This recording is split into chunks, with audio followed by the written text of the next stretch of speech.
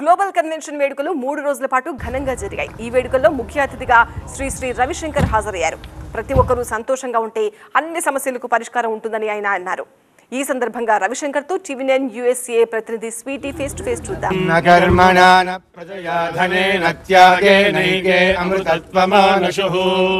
పరేణ కన్నిహితం గుహాయాం విభ్రాజతే తద్యతయో విశంతి. హింస లేని దేశంగా ప్రధాన లక్ష్యంగా ఉంటుంది. కూడా ఇప్పటికే మన దేశ సంస్కృతి కావచ్చు లేదంటే సాంప్రదాయాలు కావచ్చు అన్ని విధాలుగా మన దేశ గొప్పతనాన్ని చాటి చెప్పే విధంగా హార్ట్ ఆఫ్ లివింగ్ అంటూ ఒక వ్యవస్థాపకులుగా ఉన్న శ్రీ శ్రీ రవిశంకర్ గారు మనతో పాటు ఉన్నారు. వారితో మనం మాట్లాడదాము. నమస్కారం సార్ నమస్కారం. అంటే ఇప్పటి వరకు మనం చూసుకుంటే మీరు అన్ని దేశాలు కూడా తిరిగారు ఆల్మోస్ట్ సో అందరినీ చూస్తూ ఉన్నారు. అందరిలో మీరు ప్రధాన సమస్యగా గుర్తించింది ఏంటనుకోవచ్చు? ఇప్పుడు చాలా రెస్ట్లెస్నెస్ ఉంది భయం ఉంది అందరూ అందరి లోపల ఇంకా యాంగ్జైటీ డిప్రెషన్ ఇదన్నీ ఎక్కువ అయింది ప్రపంచంలో. దానికి అందరికీ ధ్యానం చేసుకోవాలి. ధ్యానం నేర్పించుకొని చేసుకుంటే మానసిక స్వాస్థ్యం బాగా ఉంటుంది శారీరక స్వాస్థ్యం బాగా ఉంటుంది. మళ్ళీ ఈ కాన్ఫ్లిక్ట్ ఏం కనిపిస్తుంది మనకు అన్ని జగాలో అది కాన్ఫ్లిక్ట్స్ అని తగ్గిపోతుంది. ఇప్పుడు మీరు ఎన్ఆర్ఐ విఏ కన్వెన్షన్కి కూడా స్పెషల్ గెస్ట్గా ఇక్కడికి వచ్చారు. సో అన్నీ మీరు చూస్తూ ఉంటారు. సో ఇక్కడ అందరినీ మీరు ఎన్ఆర్ఐస్ని చూస్తూ ఉన్నారు కదా? ఇక్కడ పిల్లవాళ్ళందరికీ మన సంస్కృతి మన సంస్కారం అదన్నీ ఇస్తూ ఉన్నారు వీళ్ళు. అందుకే దానికి నాకు చాలా సంతోషం అయింది. నేను వీళ్ళు పిలిచేప్పుడు నేను చెప్పాను తప్పకుండా నేను వస్తాను అని వచ్చి ఇక్కడ కలిసి ఉన్నాను వీళ్ళందరూ చాలా ఇక్కడ చూడండి అమెరికాలో ఉండేప్పుడు కూడా మన సంస్కృతి మన భక్తి ఆ విశ్వాసము మన కల్చరు అన్నీ ఆ, సంరక్షిస్తూ ఉన్నాడు ఇక్కడ. కాపాడుతూ ఉన్నాడు.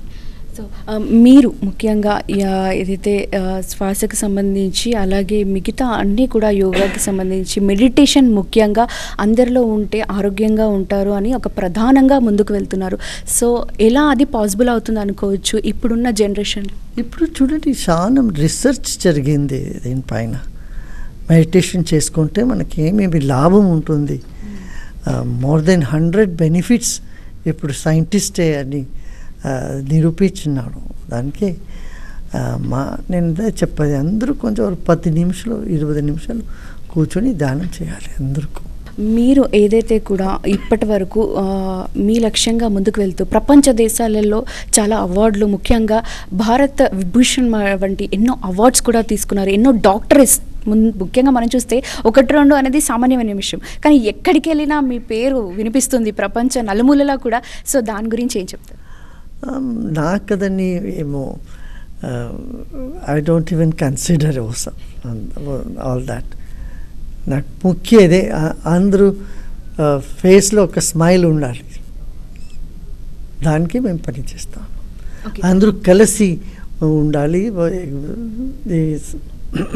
ఫ్యామిలీ కాన్ఫ్లిక్టు అట్లే కమ్యూనిటీలో కాన్ఫ్లిక్ట్ ఏముంటుంది ఇదన్నీ కం వదిలేసి ఒక సంతోషంగా జీవితం ముందుకు వెళ్ళాలి అని నా అందరికీ నా సందేశం.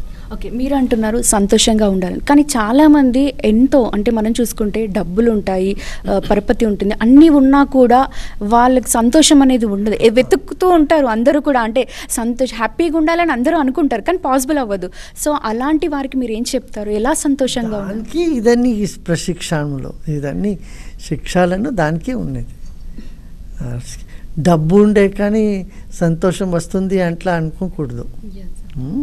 Okay sir thank you so మొత్తానికైతే గురూజీ గారు ఒకటే చెప్తున్నారు ప్రపంచ దేశాలు కానీ ఎవరైనా సరే ఒక్కటే అందరూ సంతోషంగా ఉండాలి ఎలాంటి సమస్యలు ఉన్నా కూడా దాన్ని అధిగమిస్తూ ముఖ్యంగా ఎన్ఆర్ఐ విఏ కన్వెన్షన్లో కనుక చూస్తే అందరూ కూడా మన దేశభక్తిని చాటి చెప్పే విధంగా ఇక్కడ ఉండడం తనకి చాలా సంతోషంగా ఉందని అయితే ఒక విషయాన్ని చెప్పారు.